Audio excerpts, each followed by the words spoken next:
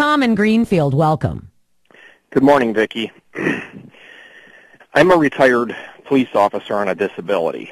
I was injured on the line of duty.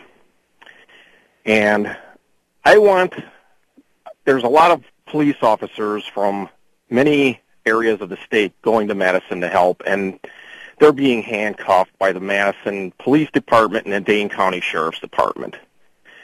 I want How do you mean? How, how do you how do you mean, my friend? And, and first off, before before, uh, I, and and I because what I'm going to say about police today, I don't want to leave the impression I do not respect police because I, I do. I mean, for the most part, I just I I, tr- I have tremendous respect for you guys. So thank you, Tom. But what do you mean handcuffed by Madison and Dane County? Because coming from a police officer, this might make some sense to people.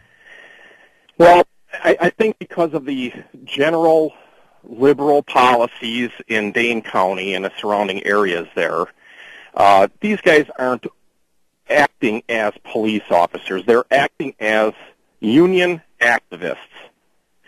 And I want those coppers to think back to the day that they got that job, not just took the exams and started as a police officer, but the day they got that badge, and they put that badge on their chest.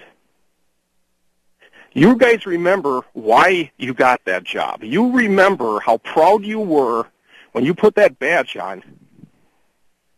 And then you remember every day you get in that squad car and it says to protect and serve. That doesn't mean to protect and serve some scumbag union activist that isn't even a citizen of the state. You guys took an oath to defend the Constitution of the state of Wisconsin and the United States of America. You guys put that uniform on every day. You represent everybody, all your constituents, not just your union.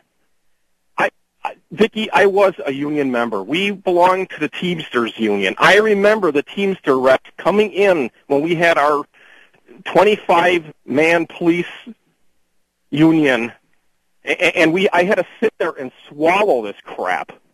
And before I was a police officer, I, I was a machinist, and I worked in industry, and I had to become a member of the teams of the uh, uh, the steelworkers union. And it's the same thing, having to go on strike and, and listen to this union garbage. Those people aren't representing you. They're they're representing their own self-interest, and you have got a duty to go out there and protect that building and protect the lawmakers of this state.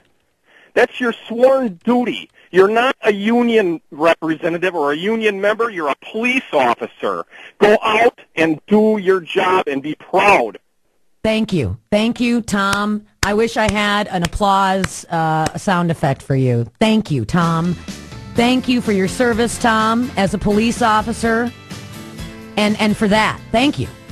You got you, you've just reaffirmed my faith in the police. Thank you. That I needed that. I really desperately needed that.